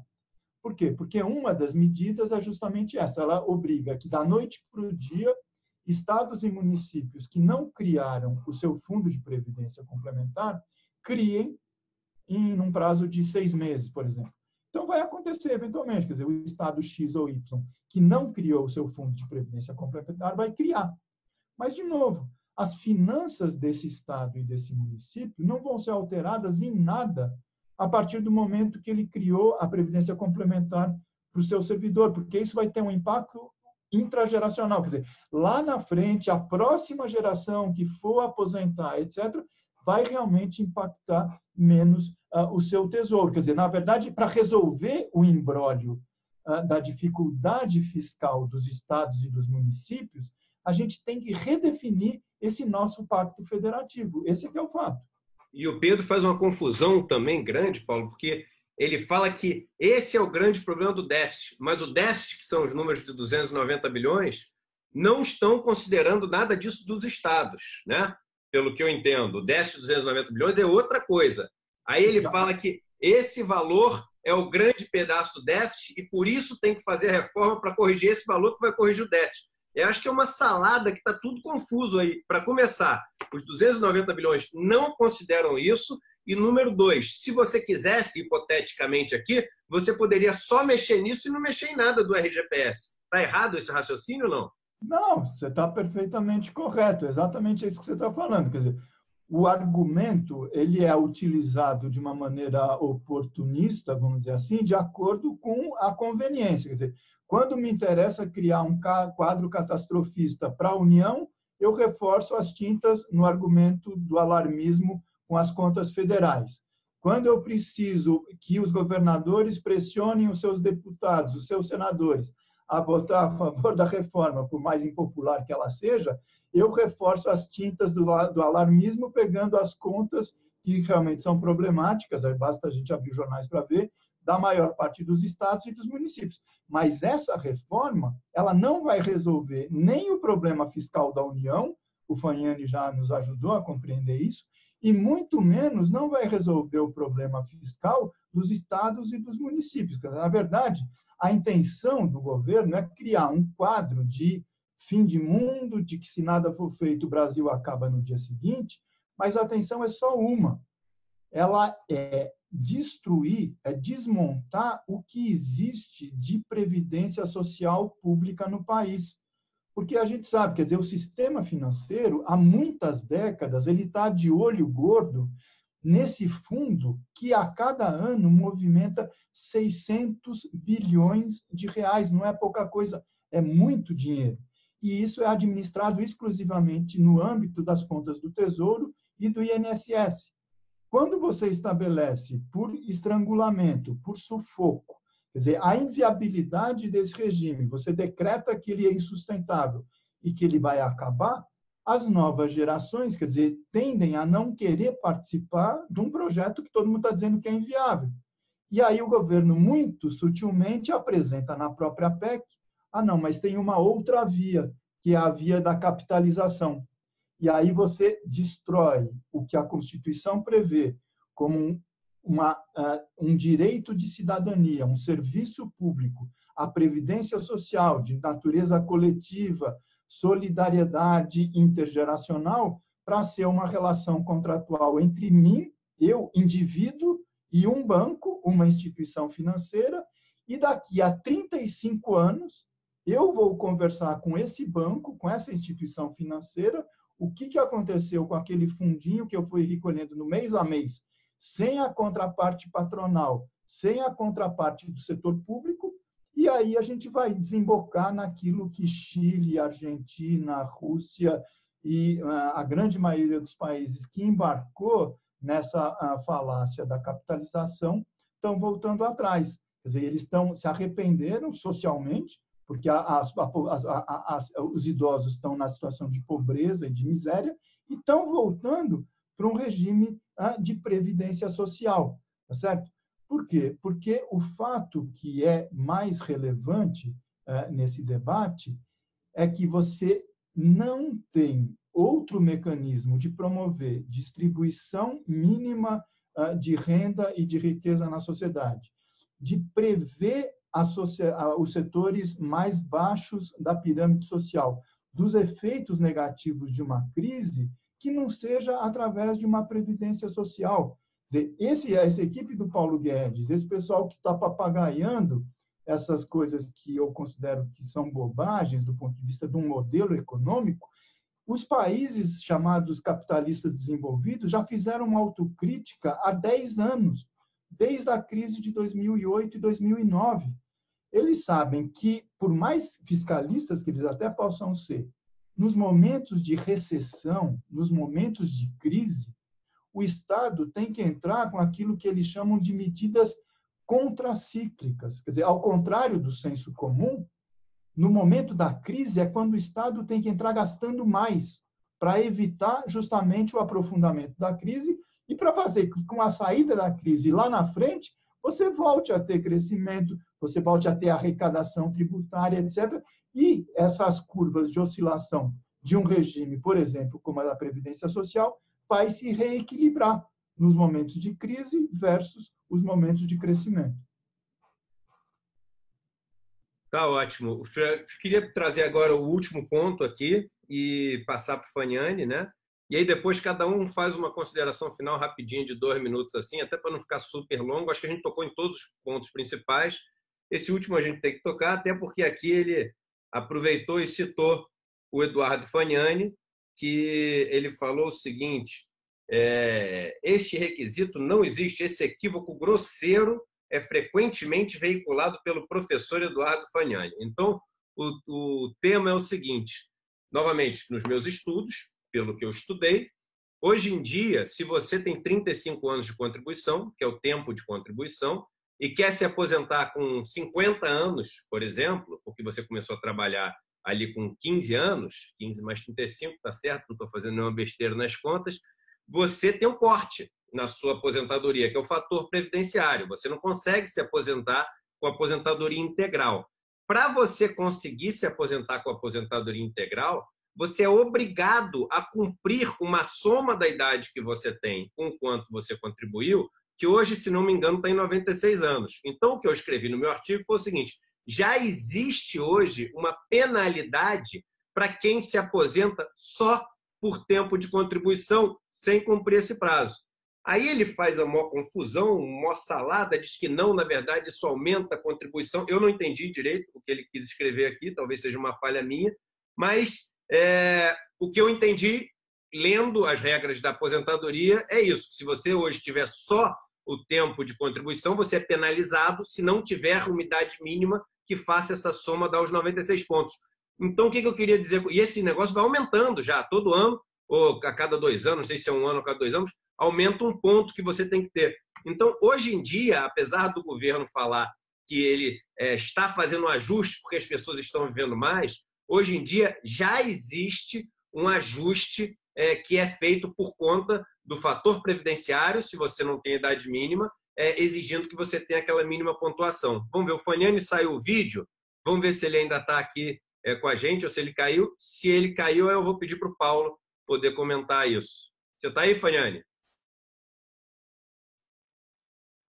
Então, Paulo, se você puder comentar. Ah, o Faniani voltou. Faniani voltou. Então, se o Faniani puder comentar. Tá, é, é, é, é, isso mesmo que você diz, quer dizer, o, que é um dos mitos no Brasil, que se falou isso durante anos, anos, anos, anos, é que o Brasil não tinha idade mínima para se aposentar. Né?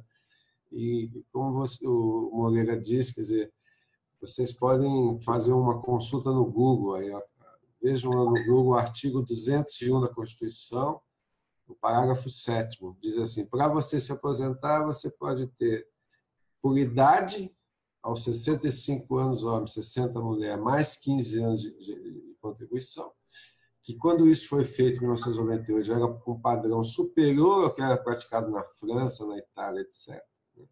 Ou você pode se aposentar por, por tempo de contribuição. Né? É, e aí são 35 anos homem e 30 mulher.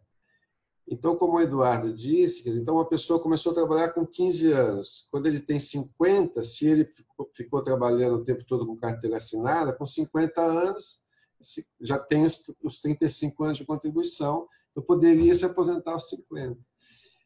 É, então, esse tipo de aposentadoria, que é uma parcela, hoje em dia, menos de 30%, 70% das aposentadorias do regime geral é, é por idade, né? essa parcela de menos de 30%, de fato, você poderia ter uma aposentadoria precoce, apesar de você ter um fator previdenciário que diz assim: ó, enquanto você não tiver 65 anos, eu vou cortar 40% da sua aposentadoria, 30%, 20%, assim. Muito bem. Mas, de fato, nessa parcela de 30%, você poderia ter aposentadorias precoces, no caso do Brasil. Mas o, o, o fato é que em 2015 é, foi ah, feita uma medida que chama-se fator previdenciário móvel. É uma coisa parece complicada, mas é simples vocês entenderem. Então, é, hoje, por exemplo, um homem precisava, precisa ter 96 pontos, né? 96 pontos, ou seja, 60 anos de idade e, e 36 anos de, contribuição, dá 96. Né? O que que, o, o que, que essa medida fez? Fez o seguinte, a cada um, um ano, a cada dois anos aumenta um ponto. De forma que em 2026, 2026, a partir de 2026, 27, é, a parte do homem 96 vão virar, virar 100. E a mulher que é, era é 85, hoje é 86, vai virar 90. Né? Então, você vai ter a forma 90-100. O que é 100? 100 é uma, é uma pessoa para ter aposentadoria integral, tem que ter 65 anos de idade e 35 anos de contribuição. Tá certo? Isso, isso já é um padrão europeu. É Lembrando que 35 anos de contribuição, só para todo mundo que está nos ouvindo. Não é que durante 35 anos ele deu uma trabalhada. São 35 vezes 12. São, 300, são 420 meses contribuindo, não é isso? Não é. Tem que ser completo ali o negócio. É, eu, é, eu não entendi a sua pergunta, fugiu o som aqui. Não, o que eu estou falando é o seguinte: que são 35 anos completos de contribuição. Que você conseguir 35 anos completos de contribuição significa o seguinte: você não teve desempregado, você não teve passando de um, de um emprego para outro, não tirou um ano para estudar alguma coisa. Então, são 420 meses é isso mesmo, não? 35 anos, 35 vezes 2, acho que é isso mesmo. É, a questão toda é a seguinte, que é, é, do meu ponto de vista, é, a, a, questão das aposentadorias precoces, que, que, se, é, que, se, dizia, foi resolvida com essa lei, porque a partir de 2028 a pessoa precisa ter é, 100, um homem, 100 pontos, 70 anos de idade, 35 de contribuição. Tá certo? Isso é um padrão europeu. Agora, o que é interessante é o seguinte: o que eu, o que eu tenho sempre dito é o seguinte: essa reforma do Bolsonaro, assim como a reforma do Temer, elas estão elas estão propondo regras que primeiro desconsideram a realidade do mercado de trabalho brasileiro, que é a informalidade, graça, o desemprego, etc. E segundo, é, elas impõem regras que são equivalentes, são superiores aos países desenvolvidos. O Eduardo Moreira, você sabe qual, é, quanto você precisa para você ter uma, é, uma aposentadoria é, parcial, a carência mínima para você ter aposentadoria parcial é, na Alemanha Não. é 63 anos. Na Suécia, 61 anos. Nos Estados Unidos, 62 anos. E, e a Alemanha exige 5 anos de contribuição nos Estados Unidos exige 10 anos de cobertura, tá certo? É, é, o que eu estou querendo dizer é o seguinte: os países desenvolvidos, uma coisa é para você ter aposentadoria completa. Em geral, é 65 anos e 35 anos de contribuição. Eles estão querendo fazer 65, 65 anos, no caso do homem, e 40 anos de contribuição. É maior do que os países desenvolvidos. E no caso da aposentadoria parcial, tá certo? Os países, muitos dos países desenvolvidos, né, exigem, você pode aposentar por tempo parcial, não vai ser 100%, 50%, 60%, 70%, mas a partir de 61 anos, 62 anos, tem país que não exige tempo de contribuição nenhuma, tempo de, de, de, de, de trabalho Tá certo? Então, também na questão da aposentadoria parcial, nós estamos fazendo um padrão que é superior aos países desenvolvidos. E aí eu pergunto para você, como é que eu vou comparar o Brasil é, com um país, é, um país desenvolvido? Como é que eu posso pensar nisso? Então, por exemplo, é, só para dar um dado, tá certo? No Brasil, a, a, a, nesses países desenvolvidos, em média, a pessoa entra no mercado de trabalho com 23, 22, 24 anos. Ela começa a trabalhar com 24 anos. Tá certo? Tem um dado aqui que no Brasil, tá certo? 70% do homem rural entra no mercado de trabalho com até 14 anos. 78% das mulheres rurais entram no mercado de trabalho com até 14 anos de idade. 45% dos homens urbanos entram no mercado de trabalho com até 14 anos de idade. Tá certo? Nesse, na Alemanha, você estuda em média 12 anos, no Brasil é 7 anos. Mas, então, não dá para comparar né, a realidade do, do, do, Brasil com a realidade desse país. E eu estou chamando a atenção para você é o seguinte: quando você coloca 100 pontos para o homem, 90 para a mulher, ou então, no caso do homem, o homem precisa ter 75 anos, 70 anos de idade e 30 anos de contribuição, ou 65 e 35 para ter a parcial. Agora, se ele tiver, se ele tiver 62, tá certo? E, isso nos países desenvolvidos isso exige menos. É isso que eu quero chamar Agora, o que, que o Bolsonaro, o que, que é a proposta do Bolsonaro? Ela quer elevar esses 100 pontos para 105 e a mulher de 90 pontos para 100 pontos. Tá certo? Então, ah, pela, pela uma, um homem, 105, 105 pontos. O que é 105 pontos? É 65 anos de idade e 40 de contribuição. Tá certo? De novo, você está levando um padrão absurdo. E, e a mulher, ela vai subir, esse ponto sobe um ponto por ano durante 14 anos. Né? Então, é quase como uma corrida de obstáculo que você não consegue se aposentar. Né? Enfim, talvez eu tenha me estendido um pouco, mas a síntese é o seguinte: você tinha um tempo atrás uma parcela das aposentadorias podiam ser é, precoces, embora a pessoa entrou no mercado de trabalho com 14 anos e contribuiu durante 35 anos. Mas ele pode ser precoce, aposenta com 55, 54. Estou chamando a atenção que esse problema já foi resolvido. Tá?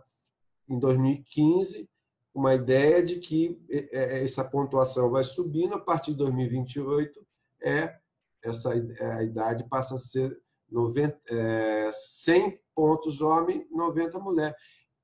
Esse, essa combinação de 100 pontos entre idade e contribuição já é um padrão europeu, é um padrão europeu, tá certo? Então, também o problema da aposentadoria dita precoce, que de fato existia, né? isso também já foi resolvido, né? essa é a questão. Agora, com relação, enfim, são esses os pontos. É, eu acho que um debate ele tem que ser feito sempre em alto nível, com respeito, né? E, e infelizmente, em alguns momentos, alguns interlocutores partem para desqualificação, o que é horrível, né? Em vez de discutir ideia, a gente acaba desqualificando. Mas, enfim, faz parte do, do, do debate. Eu acho que você já está terminando, não é, Eduardo? Você isso, quer que eu... vou fazer. Não, isso cada um agora vai fazer uma consideraçãozinha final rápida, né, de dois minutos aí, só para a gente poder fechar. Eu não estou ouvindo, Eduardo. Você está me ouvindo? Paulo, está me ouvindo ou não? Estou com problema aqui no meu som. Eu estou te ouvindo. Você está me ouvindo, Fanhane? Agora eu estou. E vê se você ouve o Moreira. Está me ouvindo? Não estou, é que às vezes o meu som aqui, que esse, som, esse somzinho aqui... Que, que... Não, mas aqui está ótimo, a gente conseguiu te ouvir super bem. Então, se você puder fazer em dois minutinhos aí só a sua consideração final, só para a gente fechar essa conversa aqui, aí depois passo para o Paulo e eu finalizo. Fala de novo, Eduardo. Se você puder fazer sua consideração final, que dois minutinhos, que aí a gente finaliza a conversa. O Paulo fala depois e depois falo eu. Tá bom.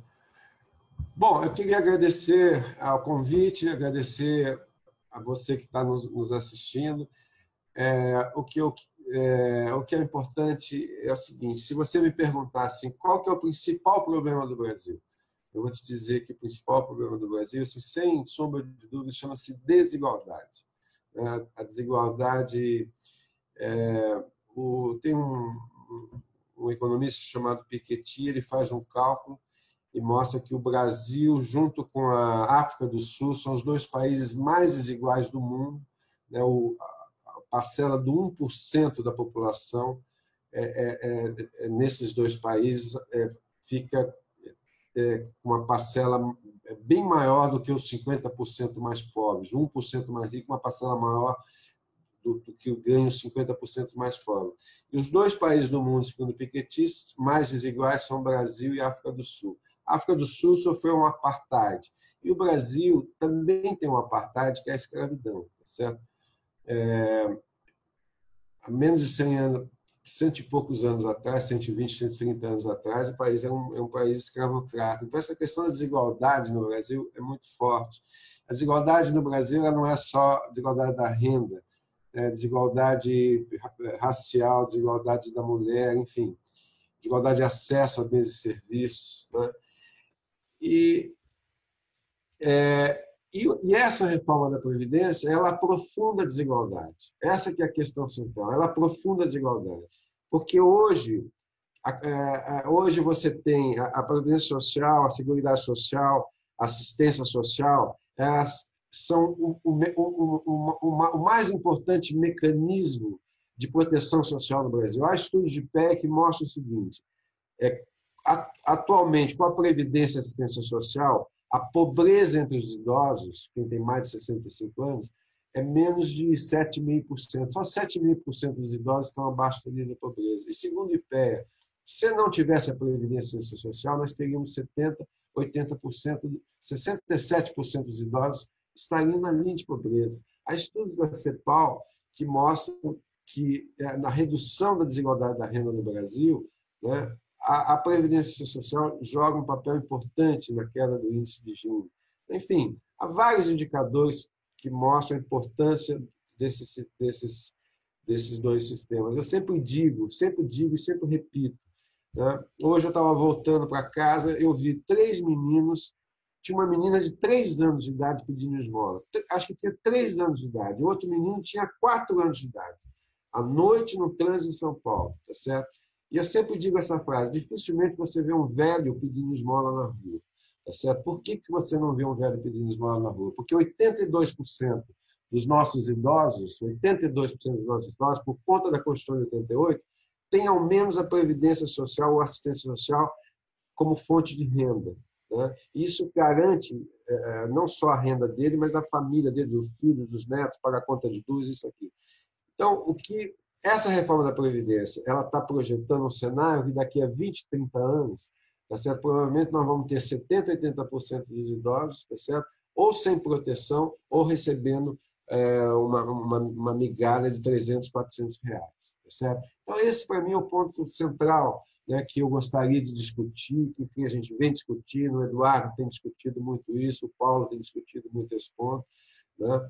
Então, acho que essa que é a questão central. O que está, o projeto em curso é acabar com o modelo de solidariedade, de segurança, né, que é um pacto social que nós fizemos em 88, depois de quase duas décadas de luta pela redemocratização do país. Esse é o projeto mais amplo que está aí. Então, contra isso, acho que esse é o ponto que a sociedade deveria debater, né, e no sentido de que que país que a gente deseja no futuro? Um país com menor desigualdade ou um país ainda mais desigual do que nós temos? Beleza, nota 10. Passou aí para você, Paulo. Muito obrigado aí. Passei, passei. Então, você passou. Quem tirou zero fui eu. Vamos lá, Paulão. Bom, então, vamos fazer o esforço de falar em dois minutos, né? Alguma síntese. Eu só queria deixar, obviamente, o agradecimento né, ao Fanhane, a você, Moreira, pela contribuição que vocês estão dando para esse debate. Né? A nossa vida, realmente, esses meses aí tem sido discutir essa reforma. E eu só queria alertar né, as pessoas que estão nos ouvindo, nos assistindo, que o que acontece, quer dizer, mal começou o debate preliminar na Câmara dos Deputados, está né, tá na Comissão de Constituição e Justiça ainda, nem entrou no mérito, e o governo já está enfrentando uma enorme dificuldade para aprovar né, a reforma da forma como ela foi enviada. Né? Quer dizer, tudo que a gente dizia que era um pacote de maldades, etc., o próprio presidente do IPEA, né, que é uma espécie de mentor do Paulo Guedes, né, o Carlos Van Dellinger, falou que é isso mesmo, que é um saco de maldades, mas que o país precisa aprovar, aquela coisa toda. E, muito provavelmente, já na Comissão de Constituição e Justiça da Câmara, a reforma, tal como ela foi mandada, ela já vai ser alterada o que dizer ainda na comissão especial no âmbito da Câmara, que vai ser montada, que vai demorar provavelmente dois, três meses. Depois isso vai ser votado pelo plenário da Câmara, depois vai para o Senado, começa todo o processo no Senado. Quer dizer, só através de um esclarecimento, como você está fazendo, você, Edu, o outro Edu, é que a gente vai conseguir efetivamente mobilizar a sociedade para mostrar para os parlamentares quer dizer, os equívocos que estão ah, embutidos ah, nesse projeto. Então, aparentemente, quer dizer, essas maldades mais explícitas, do tipo pegar o benefício de prestação continuada, né, que é o valor da fortuna, entre aspas, de um salário mínimo para quem é idoso, para quem tem um deficiente uh, uh, na família, passar para 400 reais, isso é, é de uma desumanidade, isso provavelmente vai sair estão querendo uh, aposentados rurais, essas dificuldades vão cair. Essas medidas todas da chamada desconstitucionalização, você tira essas previsões constitucionais, joga para a lei e aí mais facilmente o Congresso pressionado consegue tirar, tá certo, do, esses direitos, tá certo, dos trabalhadores e dos aposentados. Já tem gente até falando ah, na própria capitalização, né? Para mim esse é o coração dessa reforma, tá certo? A ideia é de inviabilizar o regime da previdência social pública e pouco a pouco transferindo esses recursos para o sistema financeiro privado, tá certo? Então, eu acho que são elementos importantes de avanço, de conquistas, mas a gente não deve se deixar enganar apenas por esses elementos que eu estou chamando da perfumaria. Entende? Quer dizer, porque os elementos fundamentais são aqueles que inviabilizam efetivamente a existência da, da, da previdência social no futuro. Tá certo? Por isso que a gente deve ter uma postura, quer dizer, através desses debates, desses esclarecimentos, para que deputados e senadores rejeitem essa emenda constitucional da forma que ela veio, tá certo? Mostrando que o essencial é que o país volte a crescer a sua economia. E lá para frente, eventualmente, quer dizer, num cenário de retomada do crescimento, de retomada do emprego, a gente possa discutir outras questões, porque reforma previdenciária se faz praticamente todo ano, desde 1964. Sempre tem uma mudança aqui, uma mudança ali. Os, os nossos leitores talvez não saibam, mas antes de 64 não existia o INSS. O Edu Feiani falou, existiam institutos de aposentadoria e pensão por setores, os bancários, os comerciários, os industriais. Depois do golpe militar, isso foi unificado. Não chamava INSS, chamava INAMPS, o Instituto Nacional da Assistência Médica da Previdência Social. Depois da Constituição, quando foi criado, como o Foiane nos mostrou, o conceito de Seguridade Social, aí esse instituto mudou de nome, INSS, Seguridade Social. E aí veio o fator previdenciário, reforma de 98, reforma de 2013, 3, reforma de 2013, e isso é da vida, porque a sociedade é dinâmica, a composição demográfica é dinâmica. Mas o que a gente precisa fazer são alterações que visem garantir o modelo estrategicamente no futuro e que a gente enxergue a previdência como uma solução para o problema social, como uma solução para o problema da desigualdade, e não como um problema no sentido que vamos reduzir benefício, vamos diminuir o número de idosos porque daí a gente resolve, entre aspas, o problema previdenciário. E a gente, na verdade, está matando conquistas da nossa sociedade. Nota 10, Paulo. Muito obrigado. Eu queria finalizar minha participação falando o seguinte: eu, eu, trabalhei 20 anos no mercado financeiro, né, em bancos de investimento, sendo sócio de bancos de investimento. E o mercado financeiro ele deixa a gente muito arrogante, né? E eu, eu eh, acabei me tornando eu acho, quando eu estava ali no auge do mercado, um cara arrogante também. E arrogante no sentido literal da palavra, arrogante, aquele que não não roga, né? não, não pede, não quer ouvir ninguém, não quer conselho de ninguém, não quer, é, não precisa de ajuda de ninguém. E, e eu acho que nessa discussão da Previdência, é, a maior parte das pessoas que estão é, defendendo essa reforma estão querendo enfiar ela goela abaixo de uma forma muito arrogante, sem querer ouvir, querendo desqualificar assim as tentativas de me desqualificar ao longo dessa semana, tudo no pessoal, falando que eu sou um mentiroso é, da minha formação, dos lugares onde eu trabalhei, que é, eu não presto para isso, não presto para aquilo, coisas que chegaram a incomodar até minha família, assim, que ficaram super chateadas e super ofendidas com as coisas, né? E com uma arrogância muito grande, tipo assim, ó, é assim que funciona e engole isso. E o Pedro, apesar de ter escrito um artigo que tem um título arrogante, que o título é arrogante, os 44 equívocos, ou seja, você errou em tudo, eu não preciso de nada do que você falou. O conteúdo não é arrogante. O conteúdo é um conteúdo, pelo contrário, que ele começa concordando com quatro pontos importantes, né? E debatendo outros pontos. Então, essa postura não arrogante do Pedro, acho que é uma lição para as pessoas que estão desse lado de defender a reforma para abrir essa ponte de diálogo. Segunda coisa que eu queria falar é o seguinte: tem uma frase, eu gosto muito de ler livros assim espirituais e tudo. Tem um livro Siddhartha do Hermann Hesse, né, que foi prêmio Nobel, né? E o Siddhartha fala uma coisa que é fantástica no livro. Ele fala: o oposto de toda verdade é também uma verdade. E é, é, interessante, porque nós estamos discutindo aqui com a nossa verdade e o Pedro acha que ele está lá com a verdade dele também. Então a gente tem que saber que é, é, são duas cabeças achando que tem a verdade, e se a gente não quebrar esse muro que existe, não tem discussão. E eu acho que uma coisa que é, é eu tento buscar nessa minha verdade, né, que é a verdade que tem na minha cabeça, é sair dessa nossa bolha, entendeu, Paulo? Entendeu, Faniane? Porque a gente vive numa bolha. Uma coisa, as pessoas perguntam o seguinte: pô, Eduardo, mas como é que tu mudou tanto? deu um cavalo de pau, tu virou um esquerdista, agora comunista, o pessoal fala um monte de coisa. E uma das coisas que mais me fez mudar foi me aproximar das pessoas mais pobres. Assim, eu, pô, esse ano já fiz duas viagens onde eu morei com essas pessoas. Eu morei, dormi, almocei, fui trabalhar, passei ao todo já quase um mês esse ano. E é realmente um outro mundo. É um mundo que eu tenho certeza que o Pedro não conhece, que eu não conhecia, é um mundo que o Paulo Guedes não tem noção que, do, do que se passa. É um mundo que 99% desses economistas, que são os economistas que ditam as regras do país, não tem noção mesmo. Eu fui ver e, assim, é um negócio, é outra lógica, é outro. É, é, nenhum dos números diz nada parecido com o que a gente vê lá.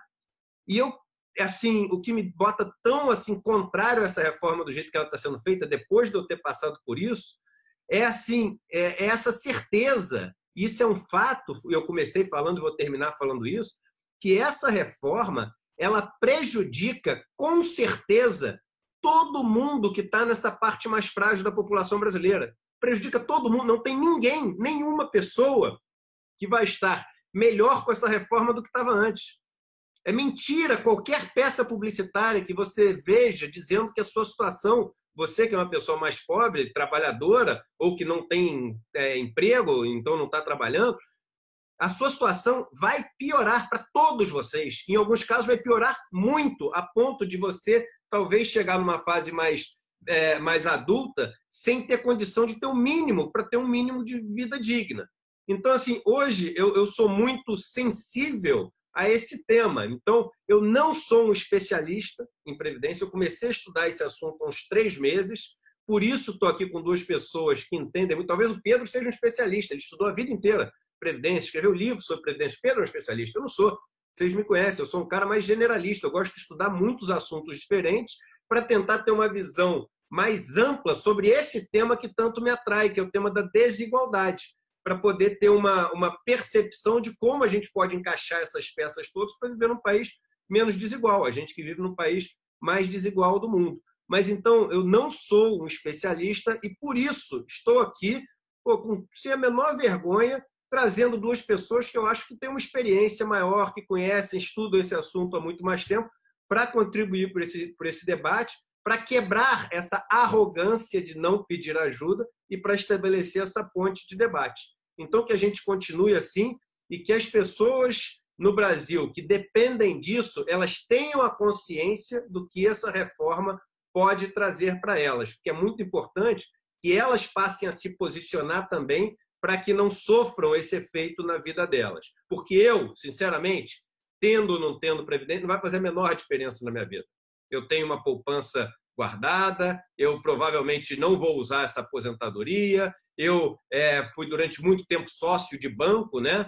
ou seja, o vilão do sistema todo, e mais do que isso, nesse tempo todo eu não contribuí com nada para a Previdência, porque eu era dono lá do, do negócio. Então é o seguinte, eu não vou ter aposentadoria, então eu não estou militando em causa própria, eu estou militando por um país que eu quero ver mais justo, um país não só para os meus filhos, como a gente costuma falar, mas para as pessoas que eu venho conhecendo ao longo desses dias, entendeu? Que são pessoas que não têm voz.